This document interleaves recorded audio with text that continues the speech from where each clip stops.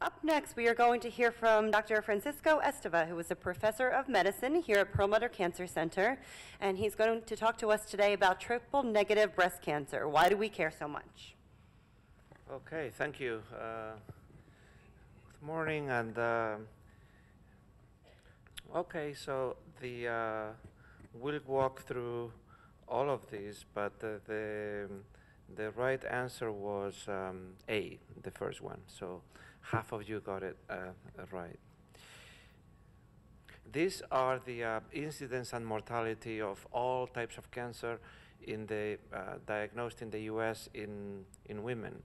So breast cancer is the most common by far. About 30% of all cancers uh, diagnosed in women are breast cancer, but it's not the most likely cause of um, of death from cancer.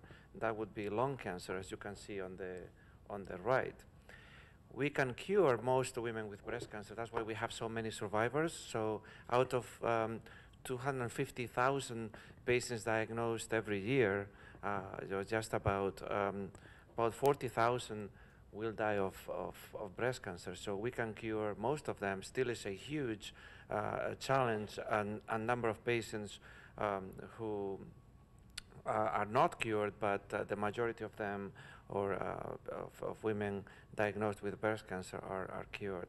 When, when a, a, a, woman is diagnosed with breast cancer, we look at three, uh, we look at a number of things uh, as oncologists. One is the stage, stage one, two, three, four.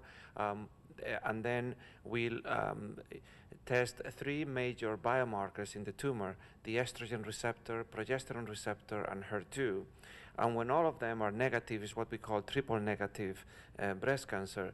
And if you can see in this slide, this uh, light blue curve, which is the survival curve, uh, this is the, the, the, the survival of breast cancer over time and this is by stage one, two, or three. If we look at all stages, the patients with triple negative breast cancer have um, the worst uh, prognosis.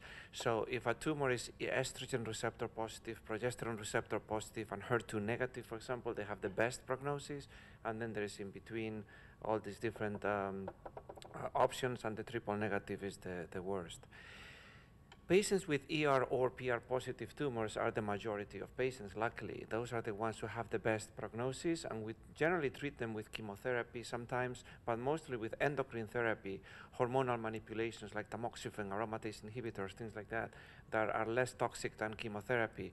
That is after surgery and, and radiation therapy if needed. HER2 positive is about 15 to 20 percent.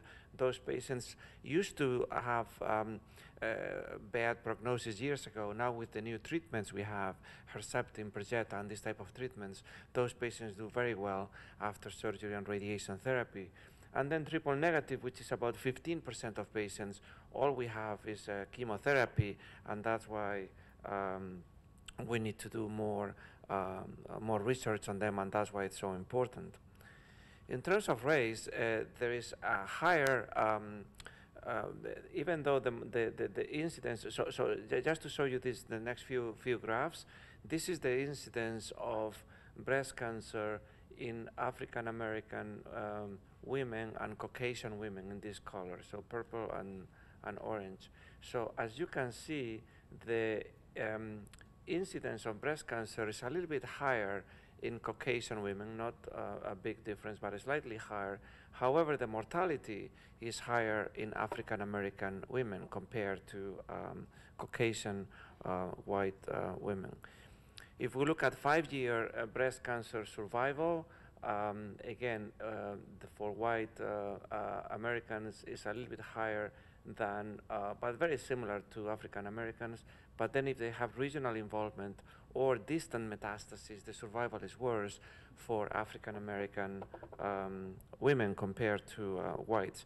When we look at Latinas or uh, Hispanic uh, women, they're similar more to whites the, uh, than to African Americans. So there's something about um, uh, African American that have worse prognosis. There is a, a number of, um, of issues. One of them uh, of course, there are a number of socioeconomic uh, issues and, and disadvantages uh, in, in, in many populations, but there are also some biological or clinical uh, differences that we see. For example, stage, which is very important. As we saw, patients with stage one have a very good prognosis, stage two a little bit less, stage three a little lower, and stage four uh, the worst. So as you see, there is more white um, uh, women diagnosed with stage one, but there is more African American diagnosed with stage two, three, or four. So that's that's bad. We need to increase the number of patients that are diagnosed with stage one.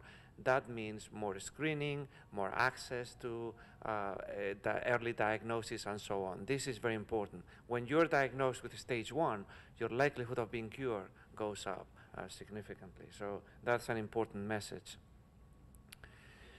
But that doesn't explain all these differences in African American women compared to white um, or, or, Latina um, uh, or other populations, Asian, for example. So the African American uh, women, um, uh, their um, mortality is worse, the prognosis is worse. And again, besides all these socioeconomic factors, there is something we've noticed, and it, those um, tumors that are estrogen receptor, progesterone receptor, and HER2 negative, what we call triple negative breast cancer, they actually happen twice as commonly in African American women compared to white um, uh, Caucasian women.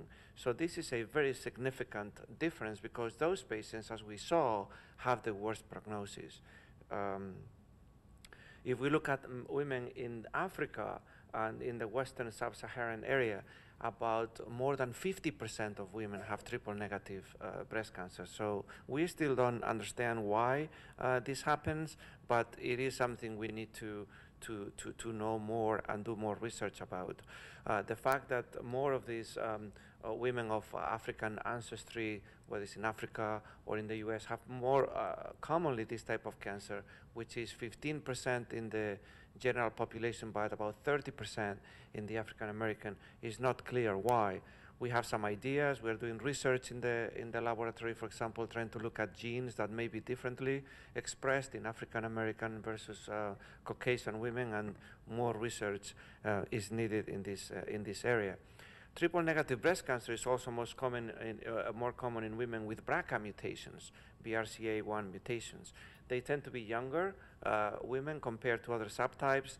The, the, grade of the tumor is high, meaning they're more aggressive and they have a higher risk of uh, visceral metastases. The prognosis, as I mentioned, is a little bit worse. There is, is uh, responsible for a disproportionate number of uh, breast cancer uh, deaths. It tends to recur uh, more frequently um, after within the first uh, five years of diagnosis, and it may spread to um, other um, organs. And in fact, to date, there are no specific treatments that are FDA approved for triple negative breast cancer. So it's just a, a disease within breast cancer that uh, needs more, um, uh, more uh, research. The good news is that we have a lot of new therapies. In the past, all we had was chemotherapy. Now we are um, investigating immunotherapy, trying to uh, uh, engage the immune system to fight uh, these type of cancers with a number of monoclonal antibodies. There are antibody drug conjugates, meaning antibodies bound to chemotherapy that can target these tumors, and other types of therapies um, listed uh, on, on the slide. For example, this is a trial we've, uh, we've done, we're doing this kind of trials. So these are patients who are treated with immunotherapy uh, for triple negative breast cancer, and some of them have very prolonged responses that you do not see with chemotherapy. So we're making progress in, and we're hoping these um, improvements in treatments will lead to uh, prolonged survivals and hopefully more cures in the um, early stage um, uh, breast cancer. One of the biggest challenges we have is that African Americans and other minorities do not participate in clinical trials. You look at the last few years where we have improvements in uh, new therapies for breast cancer and other types of cancer, and 90% of the participants are white or Caucasian or however you want to call that.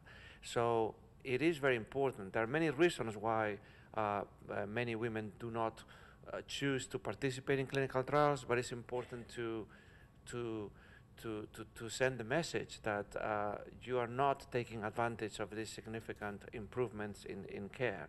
So we need to improve access to clinical trials for underrepresented diverse patients with breast cancer. We have a big effort at Bellevue and at NYU to try to do that.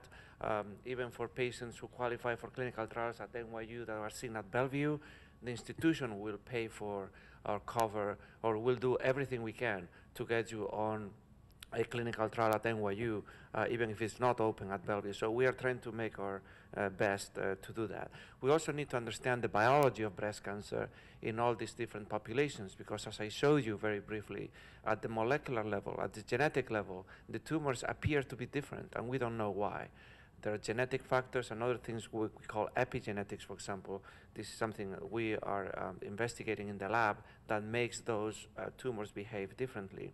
And then we have to educate the population, and all of you could be good um, uh, messengers since you're interested in, in this area to try to, to tell um, uh, how important uh, is to uh, be able to participate in these clinical trials. So in summary, in the last uh, few minutes, I hope I, I convinced you that uh, breast cancer, um, the treatment of breast cancer is individualized. It's not the same for everybody. It's based on the tumor characteristics, the patient performance, patient preference, and goals of treatment.